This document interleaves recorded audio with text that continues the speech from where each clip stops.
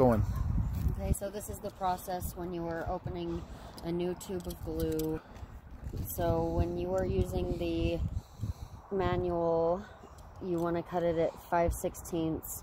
When you're using the automatic gun, you've cut it in between because it's a lot more powerful. So I cut it in between and then you cut that little lip off so you can have a little lip there. The channel that the glue comes out of easily without having to look at it. Electric gun looks like. And this is the manual.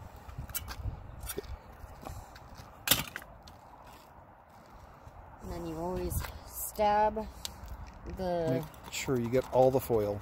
all the foil so that it comes out smooth. I just use wire.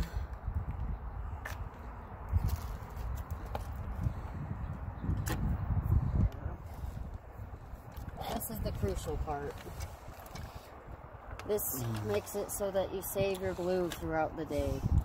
On the manual or on the automatic, I like to turn it up just a little bit, but you want to make sure you go really slow. Once you see that glue come up through the tube here, you want to go really slow through the whole process because if you don't, you will have glue bleeding on you through the whole tube and you'll just waste a bunch of glue. So the slower the better and you can save your product that way. It gets everywhere. It gets on your car, it gets on your trunk when you open and shut it. If you let the glue just go wild and you let it bleed everywhere, it just gets on everything. So ideally, um, uh, um, it's just a question of where you spend your time. A little extra here to get this through that tube like she's taken all the time to do, or the extra time to clean up the mess that you make from being in a hurry.